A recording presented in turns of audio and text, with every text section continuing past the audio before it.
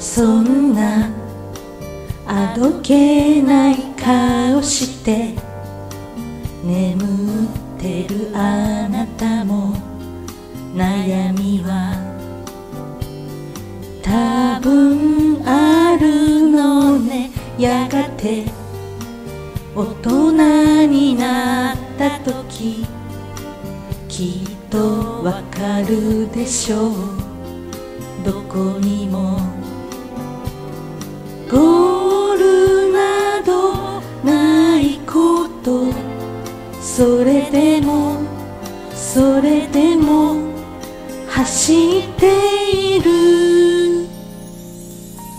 長い時間をくくり抜けあなたはきっと見ることになるでしょう。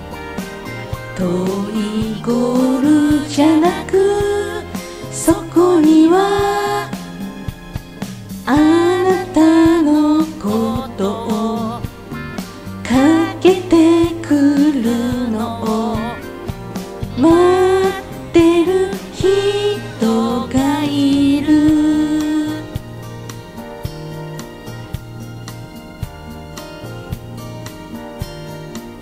いつか私は立ち止まる。黄昏に包まれ静かに。あなたの足音を聞いてる。果たせぬ。夢託して。長い道の向こうに輝く空に近づいていたら割れるような拍手聞こえる。あなたのことをかけてくる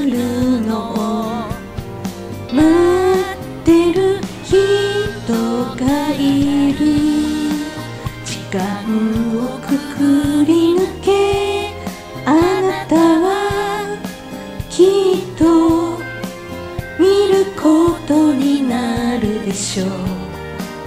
今は果てしのない道のり。